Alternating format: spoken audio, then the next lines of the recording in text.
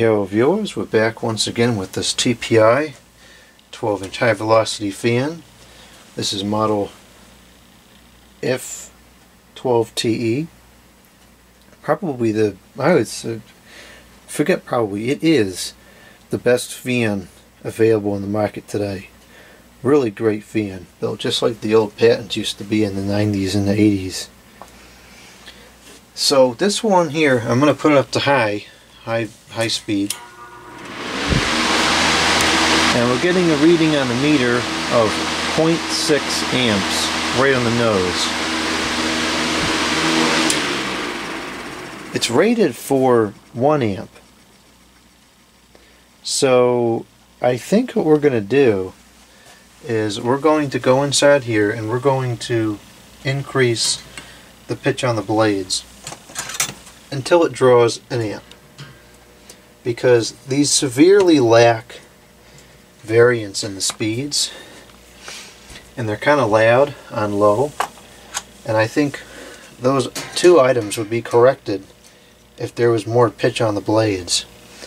Now I tend to think that these motors were not really made specifically for this particular blade set. I don't know, I can't confirm that, but my speculation is they're more of a generic motor. And as far as I'm concerned, when it comes to matching motors to blades, you know, let's say in reference to like, um, you know, a kitchen exhaust fan, for instance, where you have a belt drive scenario with two pulleys, to match that motor to the blade, you would sit there and adjust the pulleys. You would, you know, screw them in or out to change the surface area the belt rides on, to to change the load on the motor, and you'd match it up to the, the rated draw on the motor you know, or approximately. And in this case here, I don't see why we can't do the same thing. Because we're uh, just over half of the allocated power draw on the motor, so I tend to think it's not, it's just not enough load on the motor, or it could handle a lot more than it's being given. So we might as well try and get it to where I would think it seems like it should be. So, let's open this up opens up very easily. Just those two screws and these clips uh, come off to release the rest of the guard. These are kind of stuck.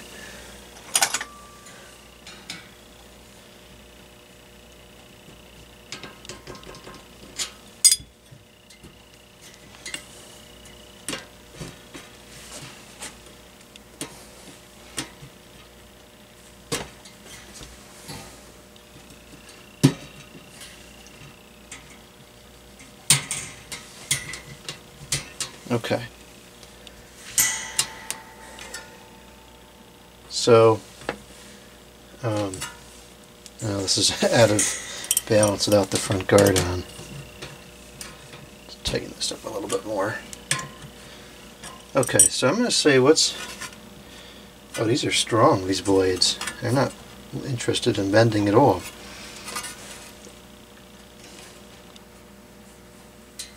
Oh, jeez. This is going to be a lot harder than I thought it was going to be.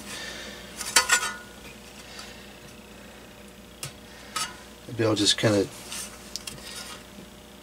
do that, then bend it on the edge. Get a little more pitch on there. I think it's going to take a lot more pitch to get it to where I want it to be. Okay, so that's 0.64.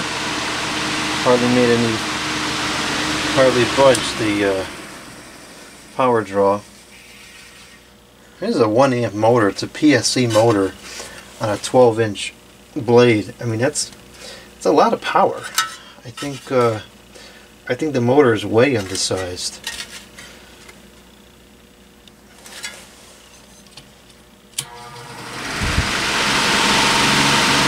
Okay, that's 0.72. Let's see how the low is looking like.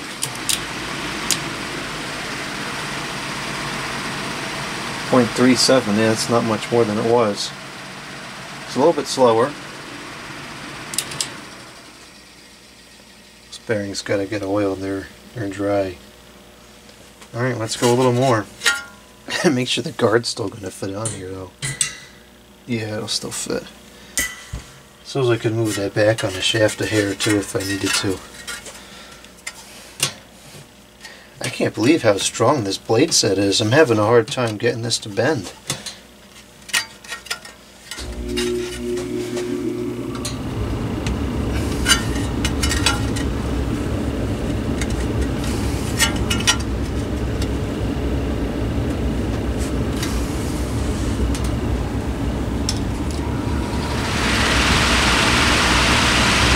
That's 0.8.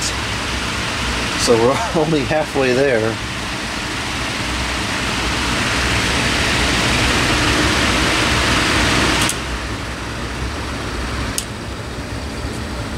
Okay, there's our nice, quiet, slow low. That's 0.39. I mean, that's going real slow on low. We're gonna have to do a temperature check, obviously, and see see how it's responding to the temperature. But as far as electrically is concerned, it's still within the allocated range.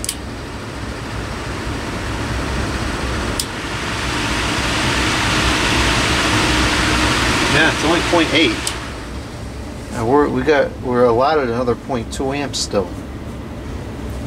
I'll go a little bit more, I guess.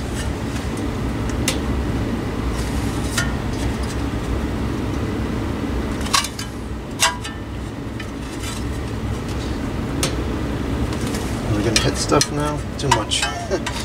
okay, now we're hitting the capacitor.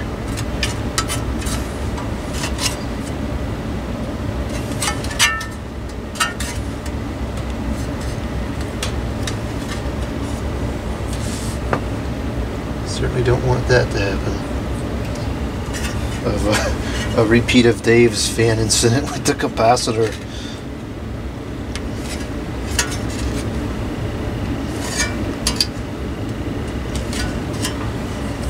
Alright, let's see how that does.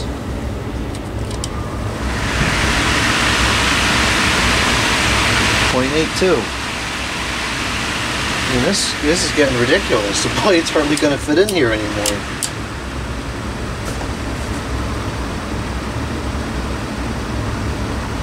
That's 0.39. It was, I think, 0.35 or something before, so it's barely even drawing that much more on low.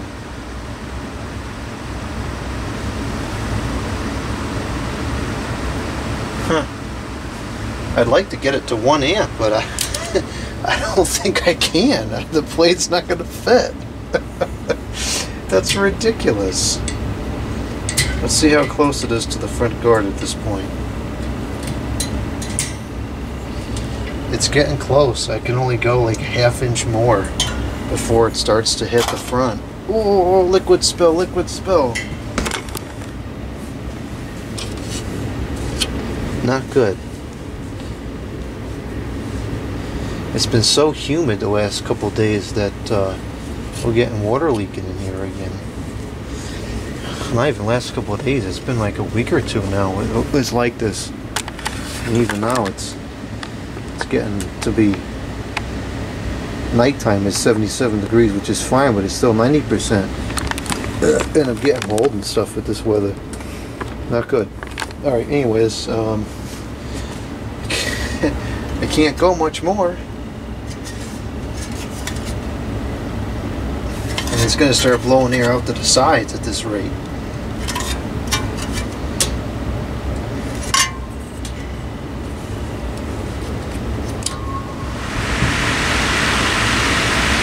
Okay, that's 0.85. I did see a uh, decrease in the speed finally, but I mean this is getting kind of ridiculous.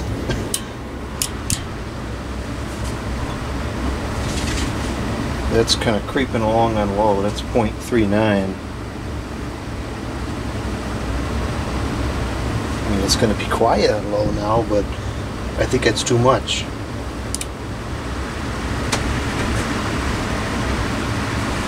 That's 0.46.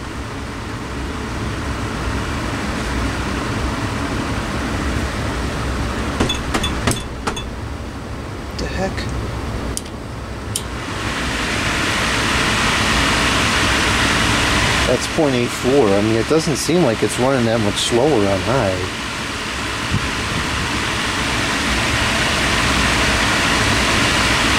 See, now the airflow is kind of funky. It's not like coming out straight anymore.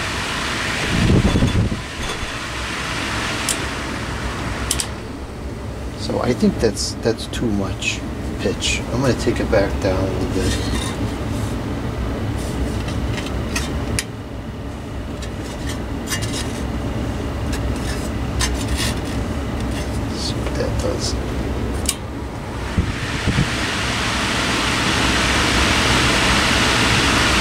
Seven eight.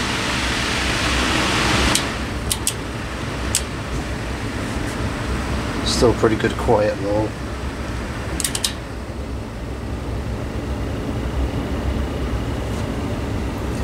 Alright, so let's say we'll go with that. Now I gotta try to get it into balance because it's gonna be all cockamamie here.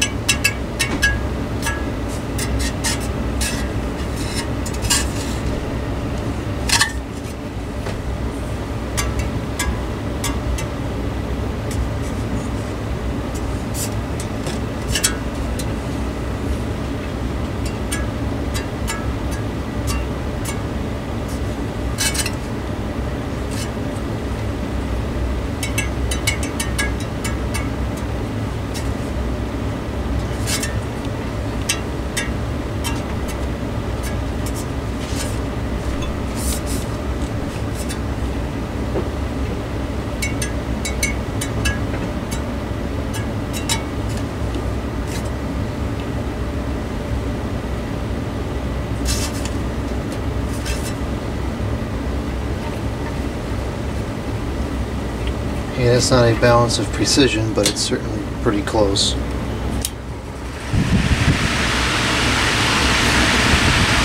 Actually, that, that feels better than it did originally. Okay, that's that's in pretty good balance, actually. More than acceptable.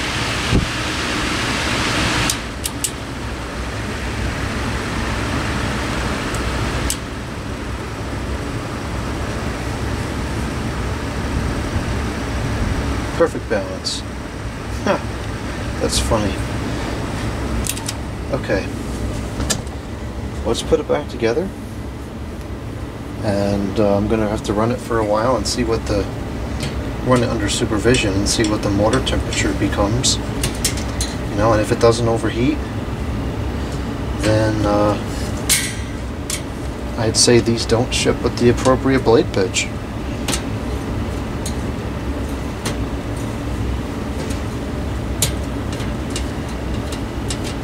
So now our new ratings on high we have 0.8, 0.78. Although, huh, it doesn't feel like it moves as much air. Kind of like wafts out to the sides of it. On medium, it's 0.47, 0.43, 0.43 stabilize, and then on low, it's uh, it's 0.37. Yeah, this ain't gonna work. It's uh, it's kind of like blowing out to the sides a bit.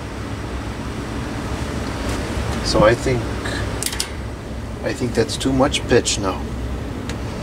Now the blade shape is deformed and it's not working quite right. So let's take it down a little bit.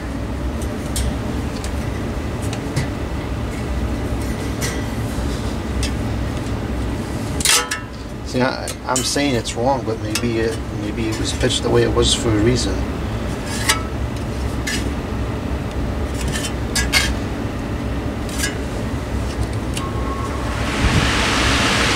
Oh yeah, that's really throwing out more air like that. That's 0.74. Okay, so we went over with the pitch. That was too much.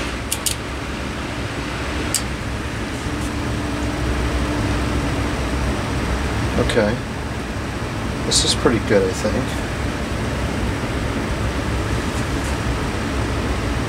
Let's put the guard back on and try that. Is this balanced? Yeah, it's balanced.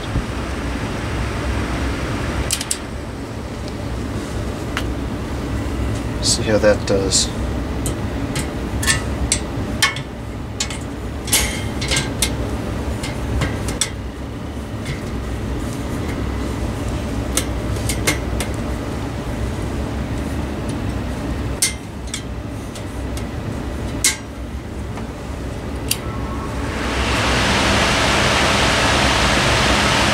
See, that guard is a lot more restrictive than I would have thought it was.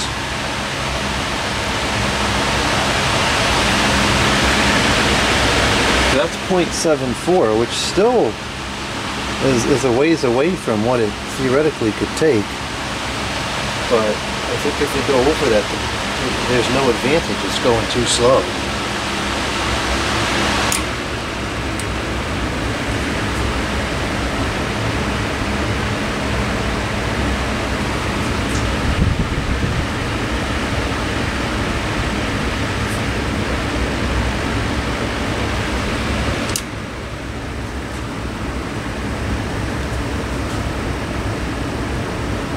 At low speed is 0.36.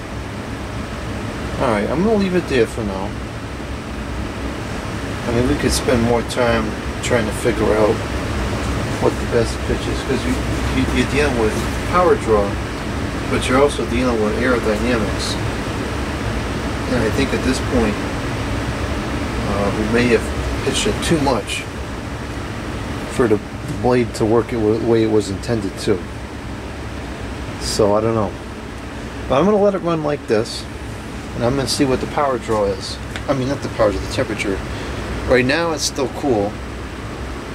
It's also only in the 60s down here. We take it upstairs where it's 80 something degrees. Let it run. And we'll see how hot it gets.